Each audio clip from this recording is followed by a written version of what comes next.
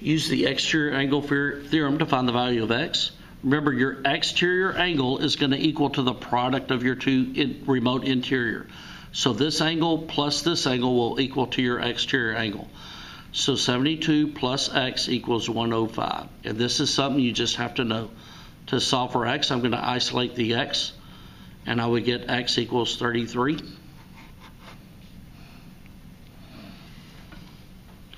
And then let's slide down to 21. Find the value of x. These two angles are what kind of angles? They're vertical, aren't they? And vertical angles are equal.